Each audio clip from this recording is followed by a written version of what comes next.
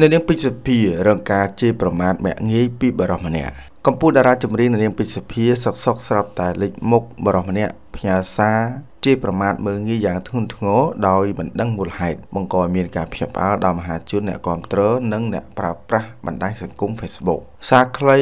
ដែលត្រូវបានគណនី Facebook ឈ្មោះថាសំណាង ប្រើសម្ដីមិនសមរម្យដោយការជេរប្រមាថតារាចម្រៀងពេជ្រសុភា បាននិយាយដោយខ្លីថាមីសំផឹងមីឆ្កែយ៉ាងណាមិញភ្លាមភ្លាមគេឃើញពេជ្រសុភាបានតបយ៉ាងត្រជាក់និងចិត្តធ្ងន់ថាសួស្ដីអូនឥឡូវហ្នឹងបងកំពុងរវល់ជាមួយនឹងការងារសុំទោសដែលឆ្លើយតបទៅវិញយឺតដល់ឡែកបន្ទាប់ពីតារាចម្រៀងពេជ្រសុភា បានបង្ហោះខ្លឹមសាររបស់បរោះដោយនាងសរសេរថា មិនខឹងទេព្រោះមិនដែលស្គាល់ផងគ្រាន់តែឆ្ងល់កើតអីនៅក្នុងខ្លួន អូនជាមនុស្សប្រុសណាត្រូវចាំ ស្រីស្រីមុនស្រឡាញ់គាត់គិតសិនមើលមុខឲ្យហើយទៅយ៉ាងណាមិញគេមិនតាន់ដឹងថាតើពេជ្រភានឹងមានវិធានការផ្លូវច្បាប់លើបុគ្គលរូបនេះឬក៏យ៉ាងណានោះទេ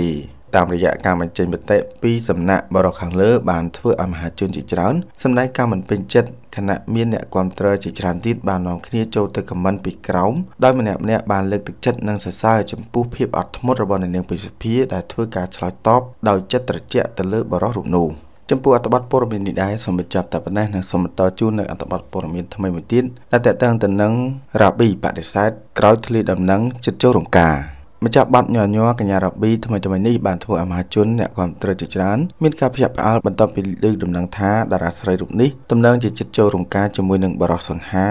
កីឡាករបាល់ទាត់ Nick Tyler ដំណឹងនេះបានបង្កឲ្យមានការចាប់អារម្មណ៍និងមានការចែករំលែកជាហូរហែនៅលើបណ្ដាញសង្គម Facebook ខណៈក៏មានសារព័ត៌មានមួយចំនួនបានចុះផ្សាយដាក់ការសង្ស័យលើតារាចម្រៀងសាច់សក់ខ្ចីរ៉ាប៊ីកំពុងត្រៀមចូលរោងការស្ងាត់ស្ងាត់ទៀតផងក៏ប៉ុន្តែយ៉ាងណាក្រោយមានដំណឹងនេះសម័យខ្លួនរ៉ាប៊ីបានឆ្លើយបដិសេធមិនមែនជាការប៉ុណ្ណោះទេតារាចម្រៀងរ៉ាប៊ីបានឆ្លើយបញ្ជាក់ច្បាស់ច្បាស់ដោយខ្លីទៅកាន់ការសង្ស័យរបស់ទស្សនិកជនថាអ្នកថារ៉ាប៊ីចិត្តការខុសហើយការហើយហើយគឺការ ក្នុងនឹងឯងពោលគឺការក្នុងការសម្ដែងប្រតិកម្មឆ្លើយតបរបស់រ៉ាប៊ីខាងលើ បន្ទាប់ពី មានការចែករំលែករូបភាព និងវីដេអូស្និទ្ធស្នាលជាមួយនឹងកីឡាករបាល់ទាត់ Nick Tyler ក្នុងសកម្មភាពសម្ដែងផ្សព្វផ្សាយពាណិជ្ជកម្មរបស់ក្រុមហ៊ុនមួយកាលពីពេលថ្មីៗកន្លងទៅនេះ។ជាការកត់សម្គាល់ម្ចាស់បាត់បនស្រែរ៉ាប៊ីកំពុង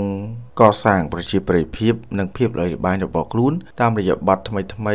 ញាក់កន្ត្រាក់អារម្មណ៍បំពេតាមតម្រូវការរបស់អ្នកគ្រប់គ្រងគ្រប់វ័យម្យ៉ាងទៀតបើសង្កេតមើលពីទីផ្សារសប្តាហ៍ថ្ងៃនេះរ៉ាប៊ីគឺ